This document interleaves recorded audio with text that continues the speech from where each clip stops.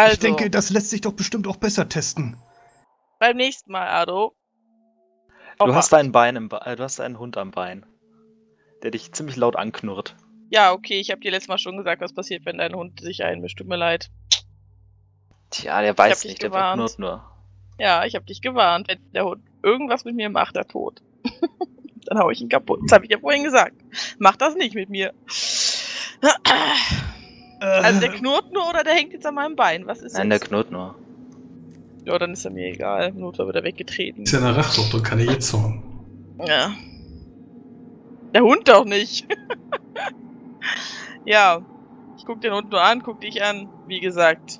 Äh, Ich, äh, Freunde, Das ich musst denke, wir mal sind äh, quitt. Äh, ich denke, jeder hat hier seine Fähigkeiten zu Beweis stellen können. Und äh, wir sollten jetzt wirklich äh, nun äh, die Wachen einteilen und dann äh, zur Ruhe kommen. Ich, denke ich halte nicht, Wache dass- mit ihm. Ich Jonah? zeige auf Ado. Gib, gib mir mal einen äh, Raufenschaden äh, mit DPKK natürlich und Travigor, gib mir mal eine Heilkunde Seele. Ui, Heilkunde Seele, nicht überzeugen oder sowas. Ja, überzeugen würde ich natürlich auch, aber das ist Äh, natürlich das habe ich gegen gar, die, nämlich gar nicht. ist gegen die Heilkunde Nachteile, ne? Oh, oh. Was hast du für eine Wunschwelle, Ado? Ah, ich habe Eisern. Eine Sekunde. Wo kann ich denn die Wunschwelle nachschauen? Ähm, Konstitution halbe plus zwei. Der Konstitution ist, äh, genau, deine Konstitution ist 14, halbiert sind 7, plus 2 ist 9, nicht überschritten, ist keine gebrochene, also doch, die ist, sie ist halt gebrochen, aber es ist keine Wunde. Ich wollte sie nicht brechen. Ich wollte ihn doch nur ans Gesicht Er hauen, war um zu langsam, er war zu langsam. Okay, ja. Zählt man. Rüstungsschutz? Äh, am Kopf? Jo. Ja, würde zählen, klar. Hm, trotzdem noch die Überzeugungsprobe von Trafigor. Was? Du hast Rüstungsschutz am Kopf? Ähm, ich würfel einfach Natürlich, mal. Lederhelm. Ja, mach mal. Ach, du hast einen Helm auf? Das hatte Ui, ich klar. nicht äh, Das- parat. Ich habe keinen Helm auf. Wenn du mir in- ins Gesicht haust, dann. Ja, äh, Trafigor, wie kann man dich auch ernst nehmen, wenn du dein Schild verschenkst? Genau, äh, deswegen war mich nicht ernst. Okay. Goddammit, warum habe ich den große Gier nicht hochgezogen? Ja, so könnt ihr. Ähm. So könnt ihr sehr unzufrieden dann euch in diese Mulde setzen. Es ist kalt. Äh, ihr vermisst die Farben und ihr seid euch auch nicht sicher, ob ihr jemals wieder Farben sehen könnt.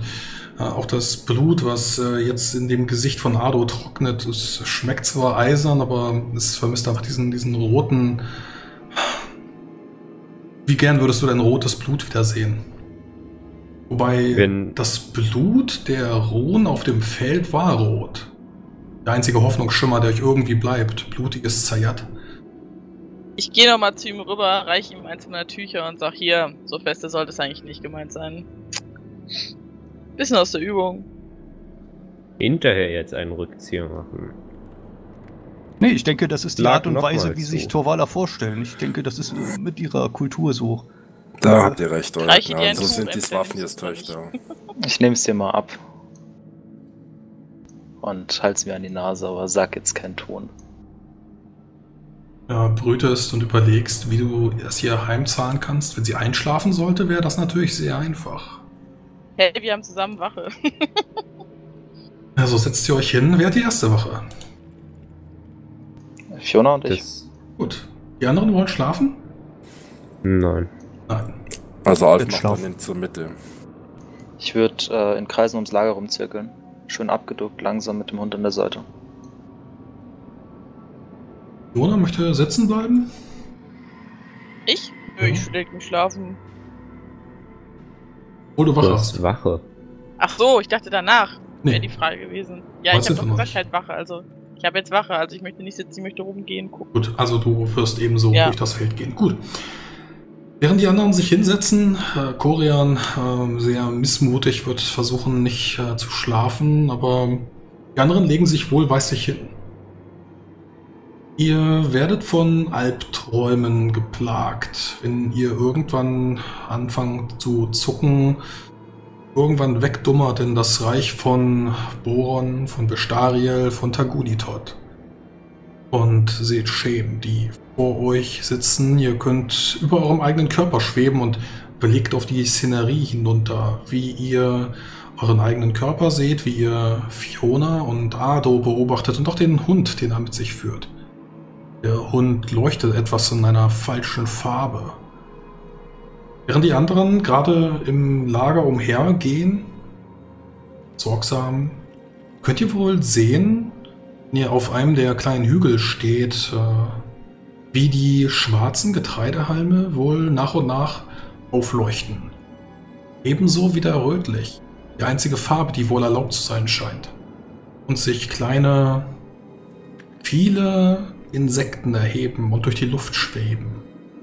Das Ganze in ein rotes, lumineszierendes Licht tauchen. Abermillionen von ihnen, die in der Entfernung über das äh, Feld schweben, durch das ihr bereits gegangen seid. Ja, während dieser Nacht, während die anderen dann Wache halten, ähm, wird sich Korian irgendwo ein paar Meter weit weg von den Schlafenden hinsetzen. Im Schneidersitz wird dann das Gröbste an Rüstungen ausziehen, also die Brustplatte, die ihn so am meisten behindert. Äh, das Schwert vorne auf die übereinander geschlagenen Beine legen und dann äh, die Augen schließen und langsam anfangen vor und zurück zu wippen und äh, ja, ein Gebet könnte man es wahrscheinlich nicht so ganz nennen zu sprechen. Wird man dann immer wieder Sätze rüber gemurmelt bekommen. Alles, was groß ist, wurde auf Leiter richtet. Lege alle Lügen und Illusionen ab, denn sie an den Starken nur. Würde das, äh, ja, wahrscheinlich ungestört, gehe ich davon aus, äh, so lange machen, bis ihn niemand stört. Möchtest du dich selbst schneiden? Was Äh, die Trollzacker tun. Ich würde mir keine Wunden zufügen wollen. Aber wenn ich so einen kleinen Schnitt einfach mit, mit etwas Blut auf der Hand zu spüren, ja, das tut doch schon ganz gut. Die neuen Regeln von Goreo Dorgula Wind. Ja, dann gebt mir doch mal eine weitere, ich sag mal, Sinnesschärfe. Was hat das denn eigentlich Auswirkungen, wenn man jetzt nicht schläft? Oder gibt also es dann Abzüge bei dir oder wie läuft das? Ähm, für die erste Nacht nicht, aber für jede weitere Nacht. Beziehungsweise dann äh, Kämpfe. Okay. Also man kann ohne Probleme 24 Stunden wach bleiben, aber dann wird man äh, saftige Erschwernisse bekommen hier. Was wolltest du jetzt Sinnenschärfe, ne? Sinnschärfe, vor allem hören. Erschwert? Nee.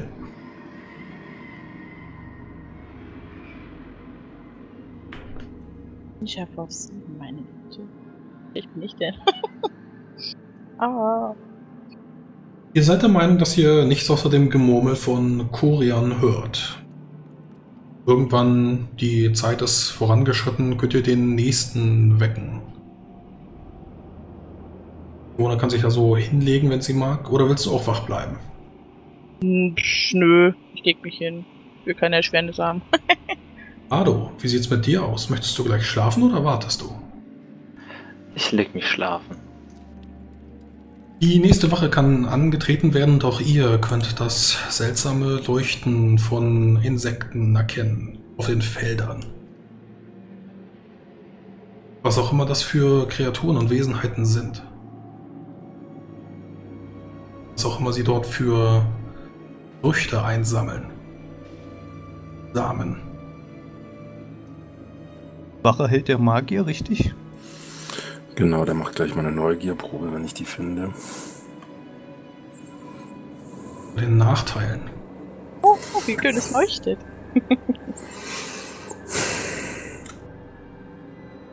Sonst auch einen einfachen W20 würfeln, das würde auch funktionieren. Eh schon kommen, dann müssen wir unseren Magier irgendwo wiederfinden.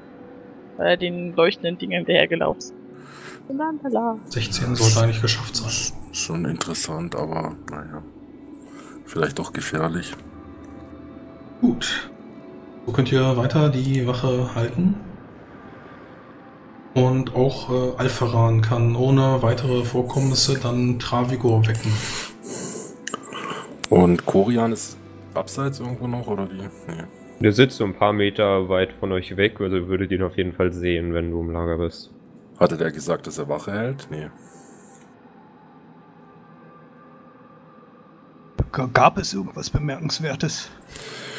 Ja, es gibt ja irgendwie wahrscheinlich so hm, kleine Flugwesen, so vielleicht Insekten oder so, die auf den Feldern da irgendwie herumschwirren. Nun, wenn es nur das ist. Ich würde denen auch nicht zu nahe kommen, aber irgendwie äh, vielleicht auf der Rückreise mal schauen oder so. Florian, du bemerkst, während du betest, wie wohl auf deiner Hand es zu kribbeln beginnt.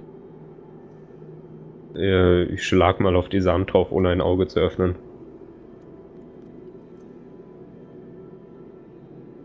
Dir fängt so ein bisschen an zu schmerzen. Dann mache ich ein Auge auf und linsen nach unten auf Hm, meine Hand. wohl, wohl nichts, einfach alles dunkel. Aber während Alpharan auch Travigor gerade geweckt hat, ihr könnt wohl bemerken, irgendwas stinkt hier. Verwesendes oder verbranntes Fleisch. Es kommt von Korean.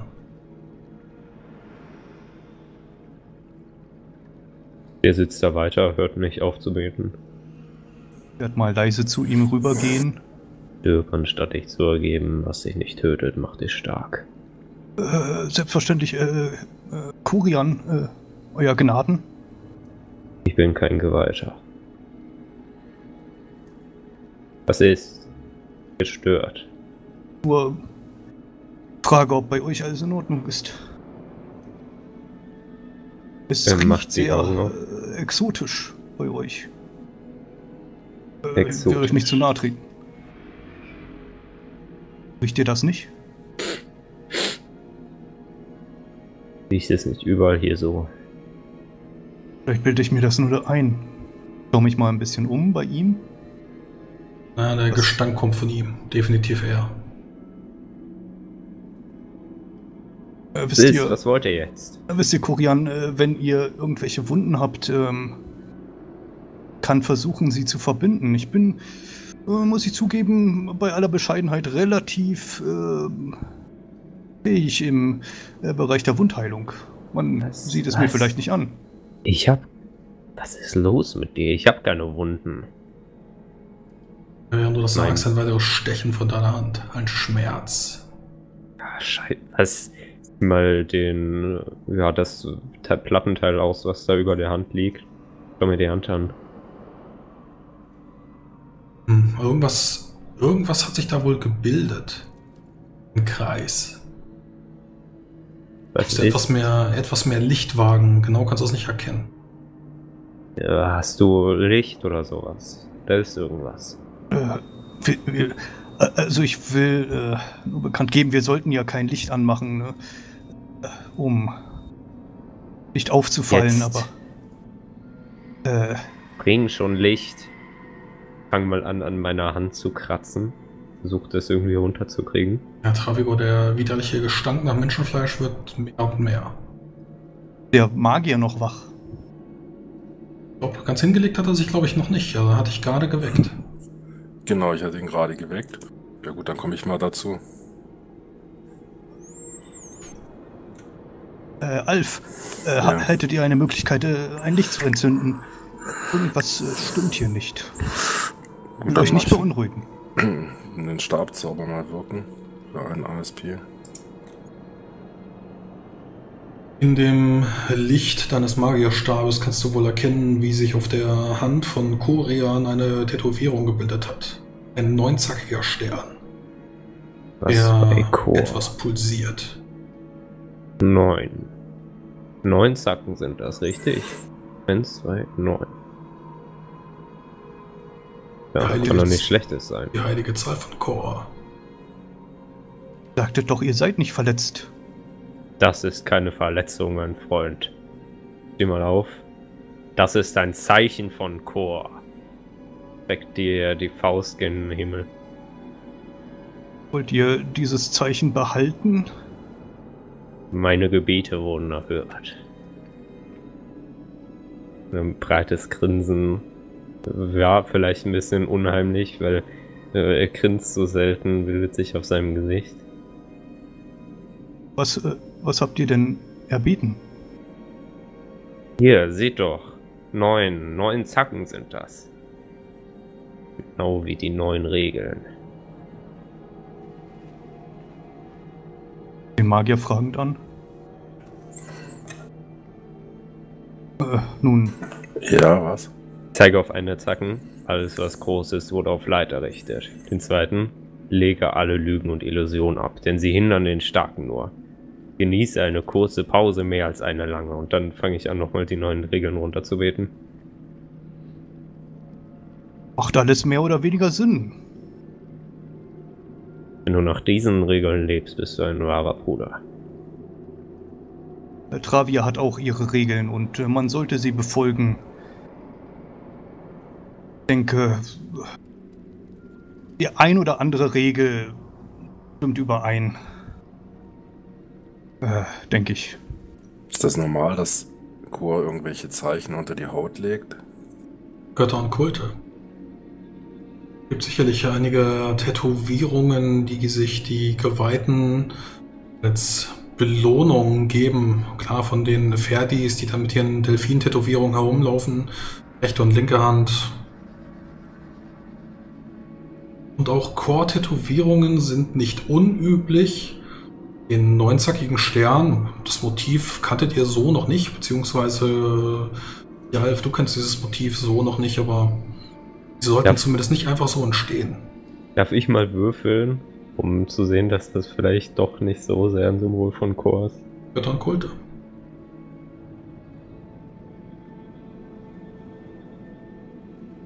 Neun ist gut. Bleibt genau da, wo es ist. Und ist in der richtigen Hand. Die linke, die mit dem fehlenden Finger. Und es schmerzt. Angenehm. Mit dem Stinken nach Menschenfleisch. Ein Problem. Chor ist bei mir! Mona, Ado, ihr werdet durch den lauten Ruf wach. Oh, Ruhe, verdammt! was passiert? Direkt aufspringen und äh, nach den Waffen gucken. Geistert strecke ich ihr die Faust entgegen. Sieh her! Chor hat mich gezeichnet. Ist das dein Scheiß Ernst? Oh, Äh, nun, Götter sind mit uns, aber wir sollten vielleicht die anderen doch äh, ihre wohlverdiente Ruhe äh, genießen lassen. weiß Waffenir, wenn du nicht schlafen willst, ist das die eine Sache. Und dafür hast du uns jetzt geweckt. Wegen Chor. Wegen Chor. Lass mal sehen. Sieh her! Ich schaue mir das genauer an. Wenn er dir die Hand entgegenstreckt, kannst du die Tätowierung erblicken und du siehst wohl auch, wie sie sich dreht. Schmerzt das? Oh ja. Das ist Und gut, zwar oder? sehr. Das ist sehr gut, mein Freund. Sollen wir eine Heilkunde Wunder machen? Er will nicht äh, belegt werden. Ah, ich Will es mir nur anschauen. Mal bald mal die Faust. Die Faust Bewegt wird gewalt. Bewegt sich. Ja, es, Die es Faust bewegt sich. zurück. Also Oh. unabhängig von eurer Faust. Aber seht, es, es dreht sich. Uh, Ich wie eine. Kompassnadel, aber na gut, neun Zacken. Es gibt keine richtige Nadel oder eben neun Stück. Keine Ich richtige will euch ja nicht zu nahe treten, aber äh, wir suchen gerade jemanden, der als Chorgeweihter unterwegs ist und der Leute verletzt hat, deren Wunden nicht mehr heilen. Und jetzt fühlt ihr euch tatsächlich sicher durch das, was euch hier an einem solchen Ort passiert ist, dass es auch tatsächlich von Chor kommt, ja. wer hat euch versichert, dass es tatsächlich ein Bruder war? Ihr habt gesagt, Chor hat euch gezeichnet. Richtig, aber wer hat euch versichert, dass dieser Mann, der die Leute so unwiederbringlich verletzt hat? Ich gehe nicht unbedingt davon aus, dass das einer ist. Aber ich sage nur, wir sind hier in einem Umfeld, was nicht gerade dafür spricht, dass das, was ihr da auf eurer Hand habt, unbedingt was Gutes ist. Nix Was soll es sonst sein? Etwas Dämonisches, schaut euch doch nur um. Es sind neun Zacken. Ich denke, äh, diese Selbstverstümmelung ist äh, nicht unbedingt positiv zu bewerten, aber ich denke im äh, Chor-Kult äh, sehr. Ich bin mir nicht sicher, dass das, was ihr da macht, gut ist. Ich drück mal kräftig auf das Tattoo. Tut es mehr weh? Nein. Spannend. Seit, seit wann sind Ich- denn Hautbilder Verstümmelung? Richtig. Außerdem zähle ich immer noch neun Zacken und nicht 13. Ich will euch da wirklich nicht reinreden, aber überlegt, wo wir hier sind. Ich gebe euch zu bedenken, in was für einem Umfeld wir hier sind. Wir haben eine Frau gesehen, von der wir dachten, dass sie vielleicht eine Geweihte war, die komische Schatten hinter sich hat.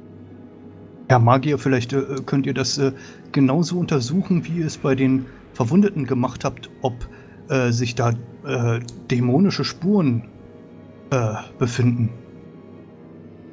Könnte ich. Ich bin nur am überlegen, ob, ähm, wenn ich jetzt nichts sehe und äh, das wäre ja eigentlich zu erwarten, dann, äh, naja gut. Nur wenn ihr euch ähm, das zutraut oder wenn das Sinn für euch macht, meine ich. Ja, zutrauen sicher, aber. Hm. Lass uns, lass uns mal abwarten, ob das irgendwie noch, äh, ob, ob das abklingt mit dem Gestank oder so. Aber bin ich die Einzige, die das merkwürdig findet, dass in einer solchen Umgebung plötzlich so etwas passiert mitten in der Nacht? Nein, äh, ich, äh, ich finde das auch. Also ich finde äh, euren Ei- Einwand auf jeden Fall angebracht. Zumindest äh, nicht unangebracht. Hm. Ja, vielleicht ist das ja wirklich ein Zeichen. Vielleicht gerade das Zeichen von Chor, dass, dass er auf unserer Seite ist, gegen diesen, naja, vielleicht sogar Paktierer oder wie auch immer. Ich hörte, da wo die Dämonen herrschen, sind die Götter recht rar. Ich habe es auf der blutigen See gesehen. Charybdot. Solange er sich das selber zufügt, ähm, scheint es doch nicht ähm, schädlich zu sein für die Gemeinschaft. Nimm mal einen Dolch aus der Scheide raus und Äh, zieh, mir den, zurück. zieh mir den einmal so durch die, die Faust durch, durch die rechte Faust dann und lass mal so einen Bluttropfen in die Mitte von diesem Stern tropfen. Schau mal, was passiert. Gib dir mal Schadenspunkte. Mit dem Dolch. 1w6 plus 1 ist das, glaube Ja. ich. Hm? Als Ach Gott, den TPKK W6. oder sowas. Zwei. Gib dir 3 SP, äh, ja, SP. Und du siehst, wie der Bluttropfen wohl auf eine der Sterne wandert. Zeigt nach Norden. Ähm, ich drehe mich mal, um mich selber um zu gucken, ob er tatsächlich nach Norden zeigt oder irgendwas in mir. Äh, nee, du siehst, wenn du dich drehst, wie wohl die Kompassnadel, diese Rose sich weiter dreht auf deiner Hand, während du dich bewegst und auch wo der Bluttropfen tatsächlich darauf verharrt und nach Norden zeigt. Hm. Hm. Ich möchte nochmal Vielleicht- darauf hinweisen, dass wir vor kurzem erst Blut in einem Feld gesehen haben, was nicht so gut war. Ich bin mir sicher, dass er mir damit etwas zeigen will. Oder es ist eine Falle. Warum sollte der und schwarze Schnitter mir eine Falle stellen? Weil ich nicht davon überzeugt bin, dass er es war.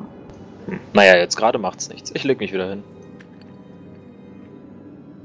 Ich denke, wir sollten auch nicht jetzt den Spuren nachgehen. Vielleicht äh, morgen früh, wenn überhaupt. Vielleicht hat der Also Letzte, der diese roten Zeichen in das Feld ge geschrieben hat, auch so etwas gehabt. Wer weiß es schon. Wenn das schlimmer wird, weckt mich. Ich lege mich jetzt schlafen. Mit einem Ja. unguten Gefühl könnt ihr euch wieder hinlegen. Albträume quälen euch weiterhin. Regeneration 1w6 minus 4. Also äh, nicht äh, Schadenspunkte, einfach nur 1w6 und solltet ihr negativ regenerieren, gibt es keine Regeneration. Ich habe keinen Schaden. Einfach durch Albträume, die euch quälen, durch wenig Schlaf und durch die finsteren und sinisteren Gedanken, die durch euch gehen. Umso stärker wird Korian diese Nacht noch beten. Dann graut der Morgen. Graut im wahrsten Sinne des Wortes, denn wieder werdet ihr wach in einem Zwielicht. Farben. Was mögt ihr tun? Ausbrechen weiter Richtung Albuin. Genau, Also ich habe während meiner Wache die Rüstung so ein bisschen poliert. Immer wieder umgeschaut. Der Chorgeweihte hat weiter äh, gebetet. Würde ich irgendwann erst wecken, wenn die nicht von selbst aufgewacht sind.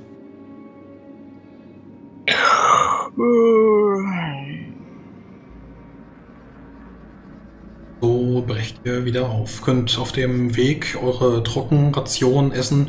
Das Pökelfleisch, was ihr von Leoma, dem Löwen, bekommen habt, beziehungsweise von seinen Waldlöwen. Und dann, ja, irgendwo dem Fluss und den Hügel folgen, die euch dann Ado weist, da er von hier kommt. Bis ihr dann zu einem kleinen Weiler kommt, wo tatsächlich auch wieder so etwas wie Licht zu herrschen scheint. Und auch hier gibt es wieder Farben, die sich nach und nach wieder in euer Bild schieben. Außer für Alpharan, der permanent Farbenblindheit oder der Farbenblindheit leidet. Vor euch ein kleiner Weiler, der wohl auch von der Entfernung schon auszumachen ist als, ja, als besonderer Ort des Praios Wille ist. Viel Gold, was ihr hier erkennen könnt und auch das Wappen der Bregelsaums, was hier über einem etwas größeren, es ist kein Stall, es ist kein Hof. Ihr könnt auch eine kleine Mühle erkennen, ein kleines Gasthaus wohl, aber über einem, was ist das? Ein Kerzenzieherhof. Dort weht nicht nur die Flagge von den Bregelsaums, sondern auch von Praios, das weiße Schild. Ah, Ich denke, wir haben es geschafft. Freunde. Kennst du die Ardo? bitte? Bitte? Kennst, kennst du die Ardo? Äh, ich sehe dein Prius-Banner, also ich vermute, dass wir richtig sind. Hier vor Ort war ich nur ein, zwei Mal. Das ist lange her. Habt alle gute Arbeit geleistet, muss ich sagen. Also vortrefflich. Vor allen Dingen äh, ihr, Ado, aber auch der Rest wirklich äh, gute Arbeit geleistet. Ich hätte es nicht besser machen können, den Weg hier zu finden. Ich nicke dir mal zu. Gab äh, fast äh, kein Blutvergießen. Sehr gut. Trefflich. Hey, ich hab gedacht, der reagiert schneller. Schulterzucken. Von wegen Blutvergießen ist eigentlich noch dieses Hautbild da. Das Hautbild ist weiterhin da. Natürlich. So etwas geht nicht mehr einfach so weg. Stinkt das noch? Ja, Dinken? Boah. gebranntem Fleisch. Weiß nicht, was ihr da riecht. Gut. Richtung des Gehöfts oder des Anwesens.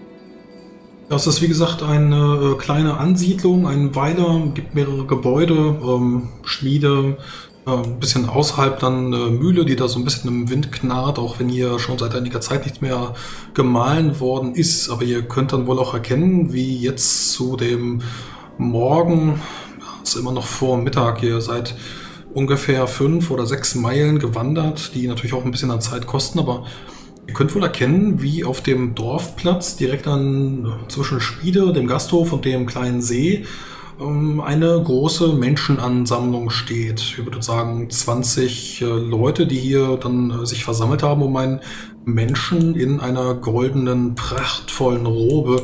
Und er hat auf seinem Haupt eine Adlermaske aus Gold. Peter wohl hat seine Hände ausgebreitet, ähm, graue Haare, die dann unter der goldenen äh, Adlermaske äh, hervorwallen und äh, predigt wohl gerade zu den Menschen. Die äh, hören ihn, die kleben an seinen Lippen. Was wie Wachen vor dem Ortseingang gibt es nicht. Die das scheinen wohl keine Angst zu haben. Das ist dieser Albuin.